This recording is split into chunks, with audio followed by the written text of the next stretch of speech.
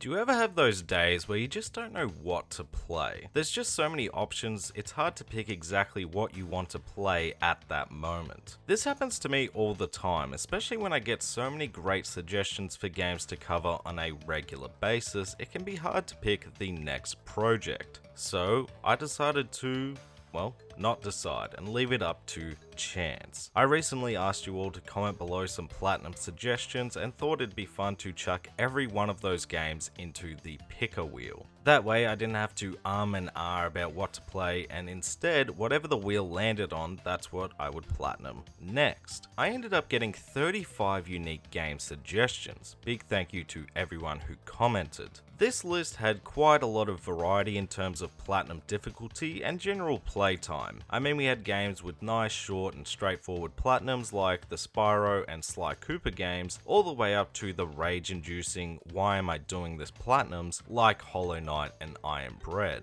So, needless to say, I definitely had my favorites in this list and games I'd rather avoid. I mean, seriously, I Am Bread, what Satan would suggest that? But as a whole, I was more than okay with attempting to tackle whatever game the wheel landed on, however long and difficult that may be. If you want to see more videos like this in the future, be sure to leave the video a like, comment below some more platinum suggestions, and subscribe so you don't miss out on future videos, and let's spin that wheel to see what we get. But first, you know what you don't want to leave up to random chance? Your online security, which is where our sponsor for today's video, NordVPN, can help. We can't be raw dogging the internet anymore, okay? And with NordVPN, with a single click onto one of their over 5,500 servers around the globe, everything from your location to your precious data are safe. Whether you're gaming or simply browsing your favorite websites, NordVPN has you protected. But that's just a bonus in all honesty, because with the ability to hop around the world means censored or region specific content can be accessed without moving a step. Being in Australia, we have a notoriously bad ratings board, or at least we did for a long time, which means there's so many games that have been banned or censored that I've never been able to play. But with one click, I'm over in the States or the UK and can finally purchase and play games like Manhunt or Hotline Miami 2.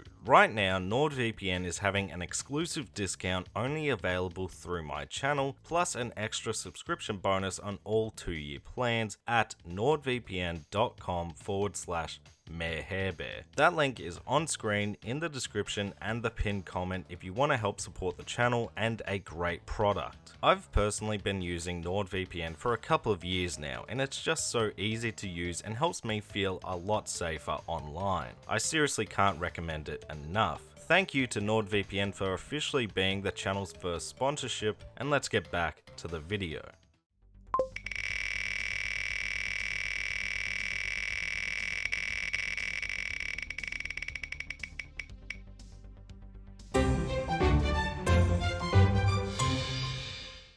Sleeping Dogs is a game I've been meaning to revisit for a while now, and honestly, I was a little surprised to see it recommended. So, shout out to Paul, Alejandro, and Kratos for the suggestion. Now, I will say that Sleeping Dogs is one of the easier titles on this list to platinum, scoring a 3 out of 10 on PSN profiles for difficulty. But it is a decent time sink of roughly 30 hours, and open world platinums do usually involve their fair share of tedium, so I think this is a pretty balanced experience to go for. But if you're unfamiliar with what Sleeping Dogs is, I'll give you a quick rundown for this video.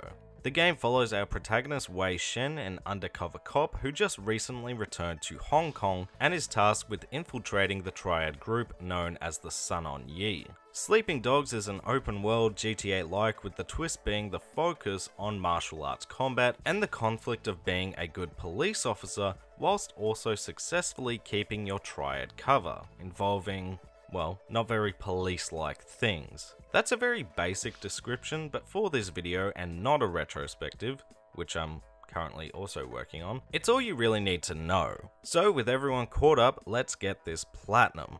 And yes, I'm playing this on the PS4 because you can't actually buy Sleeping Dogs on the PS5. You can play it on PS5 if you already own the game, but the last time I played a PS4 game not purchasable on PS5, it ran really poorly. Now step 1 is pretty self-explanatory. Beat the main game. This will net you the 4 mission based trophies. While along the way, also unlocking a trophy for completing a police case, completing 10% of all missions, defeating 5 enemies with environmental hazards, completing all the different types of hacking minigames, performing an action hijack, and visiting each of the four areas once. That's all of the unmissable trophies you'll get just by beating the game. However, I did unlock quite a few more in this step just by keeping an eye out for the miscellaneous trophies along the way. So in this step, I also unlocked Strike Gold and Gold Rush for obtaining 1 and 5 gold stat awards. Long way, we don't have a lot of... Oh, we'll come back to these in the next step. Slight Silver for 5 Silver Stat awards, defeating an enemy using a fish, safe driver for driving above 60 kilometers an hour for 2 minutes without hitting anything, sharpshooter for shooting out a police car's tires, kleptomaniac for hijacking 5 trucks and returning them, and gun nut for using 10 different guns to defeat enemies which as long as you pick up weapons as you see them, you should get. Again, you may get more or less during step 1, it just depends what you're looking out for, and given there are 60 trophies we need to get here, I tried to knock out as many gameplay specific ones as I could when the opportunity arose. With the main game behind us and 10 hours in so far, the real grind was about to begin. For step 2, we needed to complete basically everything else in this game. I know, no biggie. We need to complete all police cases, finish first in every street race, finish all favors for the people of Hong Kong, complete all world events, complete all jobs, and find all the collectibles. This step alone took me just under 20 hours to complete. There is a lot to do here in Sleeping Dogs and most of it is good fun. Yes, it's a lot of repetition in some instances, such as mission design and general objectives, but the core foundation of the game is something I really enjoyed, so it wasn't too bad, and the world isn't enormous. It's no Assassin's Creed Odyssey, where the prospect of just going from place to place is daunting. It feels like the perfect size, for me at least. So I went around Hong Kong and I did everything. I did all of my police work. I helped out people in need. I went out on dates. I owned the street racing scene. I conquered the martial arts clubs. I did some bounty hunting. A lot of car thievery.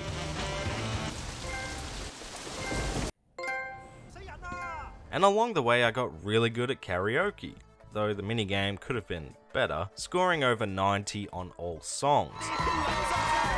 I bet on some willy fights.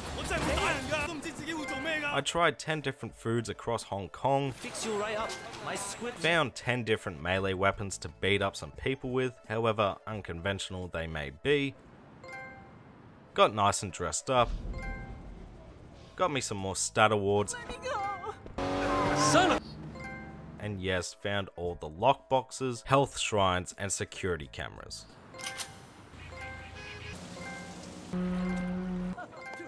For 20 hours of work, you'd think it'd be more of a tale, more grandiose, more difficult, but really, it's not that exciting. Most of these objectives are marked on your map. You just drive around the city and complete them, and even with such a large trophy list, a lot of trophies are tied to one another. All of these trophies may have taken me the longest to obtain, but they are not difficult just time consuming. Honestly, Sleeping Dogs has one sort of challenging trophy. Not hair pulling levels of challenge, but it does require you to be consistently working towards it if you want to avoid an unnecessary level of grinding. That trophy is pure gold, which requires you to get 30 gold stat awards out of a possible 32 challenges. Now, this isn't challenging in itself, as just by doing the 100% objectives, you will naturally get quite a lot but you do need to be constantly aware of this list because the combat related challenges will get harder and harder to pull off once you've got nothing else to rely on but seeing random triads in the street. These challenges make you play sleeping dogs very odd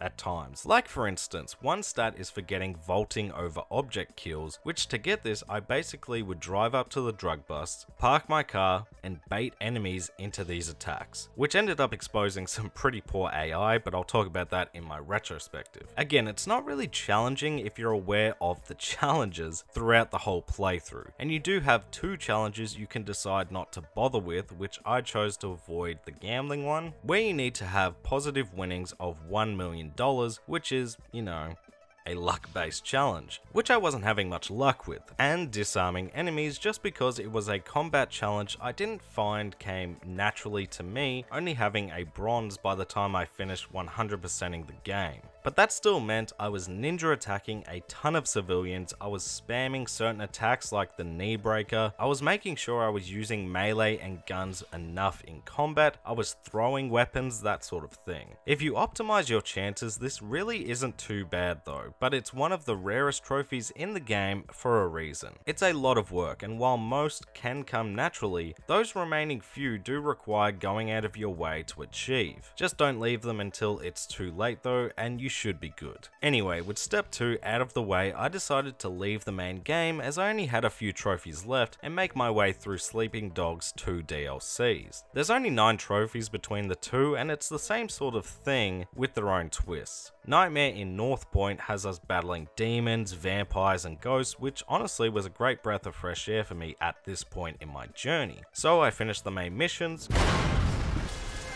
completed all the side objectives, and found all the money shrines. I just needed to get 5 unique gold stat awards.